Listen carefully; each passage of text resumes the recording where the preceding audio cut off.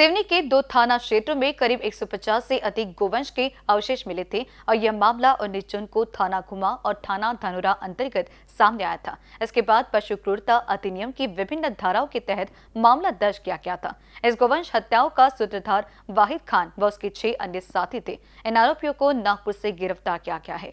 मध्य प्रदेश के सिवनी में गोवंश हत्या का मामला सामने आया था। इस मामले में एमपी पुलिस ने कार्रवाई की थी। कार्रवाई में गोवंश हत्याओं का सूत्रधार वाहिद खान व उसके छह अन्य साथी थे, जिनकी जानकारी मध्य प्रदेश पुलिस ने सीमा के राज्यों की पुलिस से साझा की थी। वाहिद मजीद खान, सिवनी निवासी को पुलिस ने जब गिरफ़्तार कर पूछताछ की तो पता चला कि गोवंश हत्या के इस मामले के तार नागपुर से जुड़े हैं। बताया जा रहा है कि इसरार मंजूर अहमद मोमिनपुरा, महात्मा फुले बाज़ार निवासी द्वारा इन गायों और बैलों की हत्या करने के लिए व्यवस्था करने के लिए कहा गया था और इसके बदले में अच्छी रकम देने की बात की थी।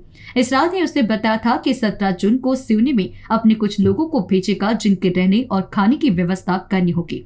वाहिद ने पूछताछ में पुलिस को बताया कि इसरार ने वाहिद के अलावा सिवनी ज़िले के ग्राम गवारी चौकी पलारी के सना उर रहमान, ग्राम खेरी थाना कानीपाड़ा के अब्दुल करीम और बादल पार चौकी के रफीक खान को भी पैसे देकर गाय बैल की व्यवस्था करने को कहा है।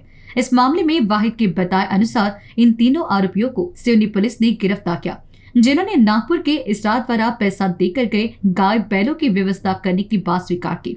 इन चारों की गिरफ्तारी के बाद मध्य प्रदेश पुलिस की एक टीम नागपुर पहुँची। जिसके बाद तहसील पुलिस के साथ मिलकर एक विशेष जाँच अभियान चलाया गया। इसरार ने पूछताछ में पुलिस को बताया था कि नागपुर के साथी वकील कलंदर, मोइनुद्दीन वसीउल्ला मोइनुद्दीन अब्दुल अज़ीज़ और रफीक की सहायता से सिवनी में गोवंश को कत्ल करवाया गया था। दिनांक पंचवीस जून दोन हज़ार चोवीस रोजी शिवनी जिल्ह्यातील पोलीस अधिकारी शिवनी जिल्ह्यात दिनांक एकोणीस जून रोजी ईद बकरी ईदच्या कुर्बानीच्या अनुषंगाने शिवनी जिल्ह्यातील police station Dhuma police station Kewlari व पोलीस स्टेशन धानोरा येथे वेगवेगळ्या ठिकाणी एकूण एकशे पन्नास गायींची कुर्बानी दिली होती कत्तल केली होती. त्यामध्ये गोवंश जनावरांचा प्रतिबंधित गोवंश जनावरांची कत्तल करण्यात आली होती. त्यावरून शिवनी जिल्ह्यात कायदा व सुव्यवस्थेचा प्रश्न निर्माण झालेला होता व सदर ठिकाणी धुमा केवलारी व धानोरा या तीन पोलीस स्टेशनमध्ये वेगवेगळे चार गुन्हे दाखल झाले होते. सदर गुन्ह्यात सहभागी असलेले आरोपी जे होते ते निष्पन्न झाले होते व त्यांचं जे ठावठिकाण आहे तो नागपूरमधील तहसील पोलीस स्टेशन तसेच पाचपावली पोलीस स्टेशनच्या क्षेत्रातील असल्याने ते शिवनी जिल्ह्यातील अधिकारी तहसील पोलीस स्टेशनमध्ये दाखल झाले होते. सदर आरोपींचा ठावठिकाणा घेत असताना तहसील पोलीस स्टेशनचे अधिकारी व अंमलदारांची टीम आम्ही त्याच्यासोबत दिली होती. त्यामध्ये एकूण सात आरोपी जे मुख्य सूत्रधार आहेत असे सात आरोपी जे आहेत ते आम्ही तहसील पोलीस स्टेशनचे डी बी पथक तसेच बीट ऑफिसर किल्लेदार यांच्या मदतीने शिवनी पोलिसांना ताब्यात घेऊन दिलेले आहेत.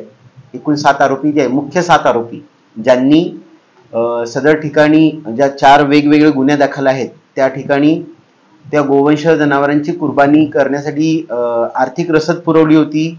त्याबाबतचं कॉन्टॅक्ट तिथल्या स्थानिक आरोपींना दिलं होतं. ते मुख्य सात आरोपी तहसील पोलीस स्टेशननी शिवनी पोलिसांना ताब्यात घेऊन दिलेले आहेत पकड़े गए आरोपियों में इसरार अहमद मंसूर अहमद, अब्दुल अज़ीज़ मोहम्मद इद्रिश वसीउल्ला अब्दुल लतीफ अंसारी मोहम्मद वकील अहमद अली अहमद, मोइनुद्दीन मोहम्मद इसराइल, मोइनुद्दीन सिलाउद्दीन अंसारी निसार अहमद उर्फ़ कलंदर हासिब बहुद्दीन रफीक अहमद वली मोहम्मद का समावेश है। दो दिन तक नागपुर की तहसील पुलिस ने सिवनी पुलिस के साथ मिलकर इन आरोपियों को ढूंढकर गिरफ़्तार किया है जिन्हें आगे की कार्यवाही के लिए सिवनी पुलिस के हवाले किया गया है। कैमरा पर्सन अखिलेश भारद्वाज के साथ प्रकाश शुंकलवार की रिपोर्ट। गोलियाँ खा ली ऑपरेशन भी करा लिया फिर भी नहीं मिल रहा है। बवासीर फिशर भगंदर से आराम। तो आज ही आइए चौदह साल से रुकने सेवा में तत्पर। Abhyuday piles laser and Ayurveda hospital Shatabdi Chowk से मनीष नगर रोड नागपुर।